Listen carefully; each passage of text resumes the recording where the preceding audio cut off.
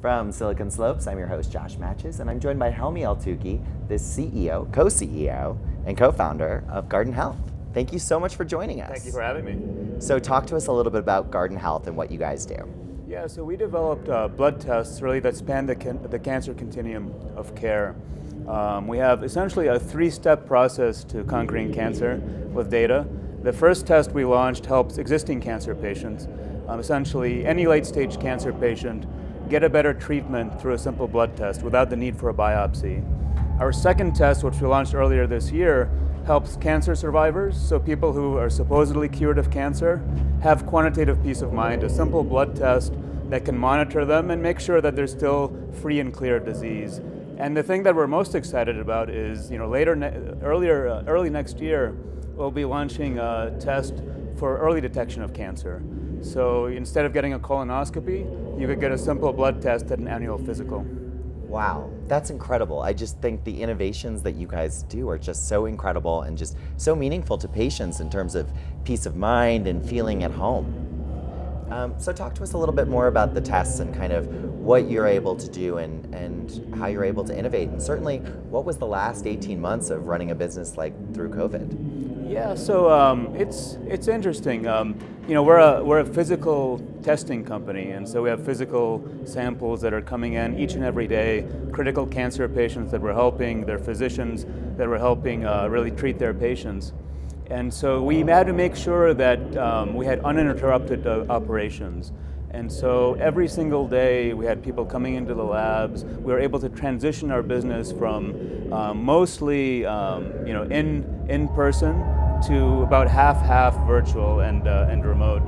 Um, the second thing we were able to do was um, we were able to really leverage telemedicine in terms of, because our, our tests are so simple, they're a simple blood test, a physician, a late stage cancer patient, doesn't have to go into a doctor's office anymore. We could actually bring in uh, what are called mobile phlebotomists to go to a patient's home, draw blood, and get the necessary information to put them on the right track.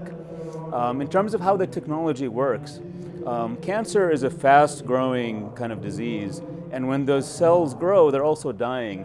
So they're shedding their unique DNA fingerprints into the blood. We develop a technology that can see the trace amounts of DNA fragments in a tube of blood with extremely high sensitivity uh, and high specificity.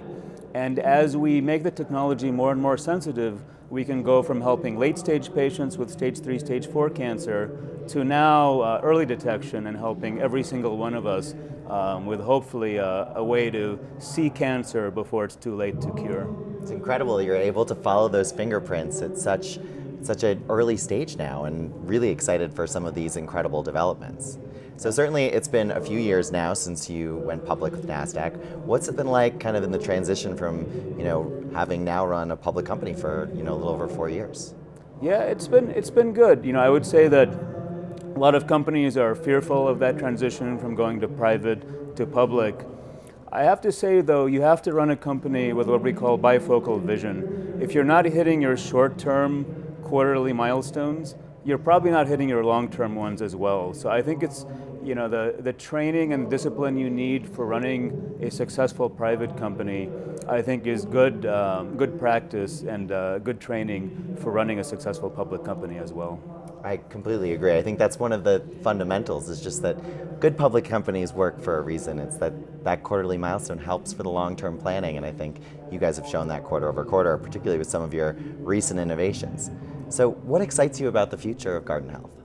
Yeah, we're really at a critical time point now. It's been about 10 years since we started the company the vision was really having these blood tests that span that continuum of care from you know, early detection, helping cancer survivors, and obviously helping uh, advanced cancer patients. Um, but now we're putting it all together. And so the amount of data that we're unlocking with each and every test we run, um, we're essentially applying now machine learning and a whole bunch of different tools to that. And so I think we're going to be, we're going to reach a point in the future where we can actually predict what's going to happen. We think of it as Waze for cancer, essentially. We would know that don't put patient on treatment A, don't put patient on you know, intervention B, um, put them on, on plan C, essentially. And, uh, and you know that they're going to have a much better outcome. And so that's, that's the exciting future that I think we're just about to unlock now with these ecosystems of tests we have. Well, thank you so much for joining us, and thank you for unlocking the future of health. We No. really appreciate you joining us here in the NASDAQ studio. Thank you for having me. Thank you, Helmy. Yeah, thanks much. Appreciate it.